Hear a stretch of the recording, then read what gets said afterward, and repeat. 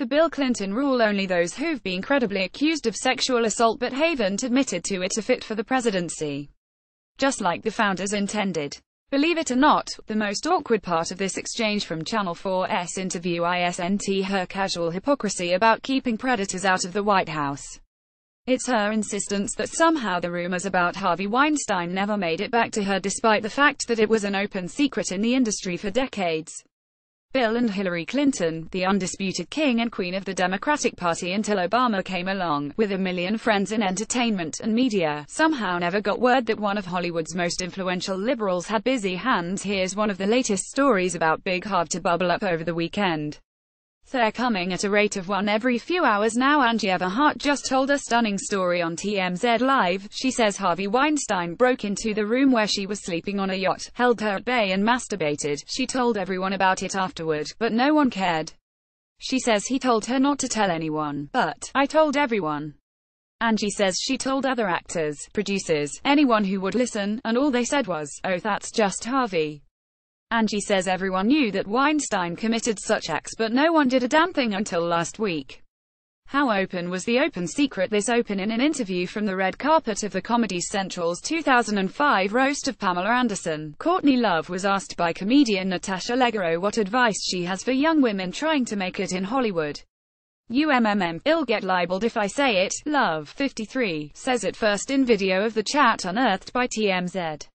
She then stops hesitating. If Harvey Weinstein invites you to a private party in his Four Seasons hotel room, don't go, says Love. That was 12 years ago.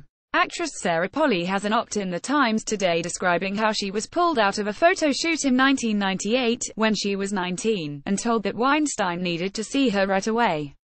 Note her publicist's reaction in the taxi. The publicist looked at me and said I'm going in with you. And I'm not leaving your side. I knew everything I needed to know in that moment, and I was grateful.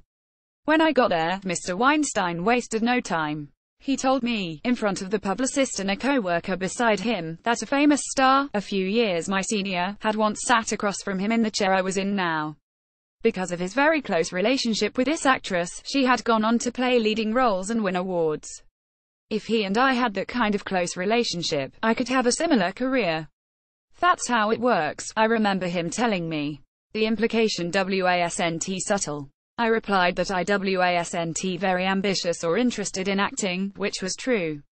He then asked me about my political activism and went on to recast himself as a left-wing activist, which was among the funniest things I'd ever heard. Extorting barely legal women for sex while in the same breath crowing about his wokeness. That sure sounds like our Harvey.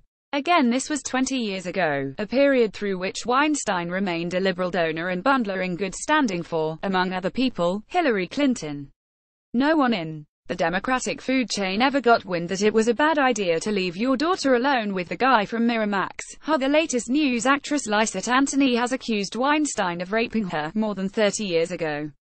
British police are investigating. Clinton look, we just elected a person who admitted sexual assault to the presidency, via channel4pic.twitter.com Ninoob Tulecki, Kyle Griffin at Kyle Griffin 1 October 14, 2017.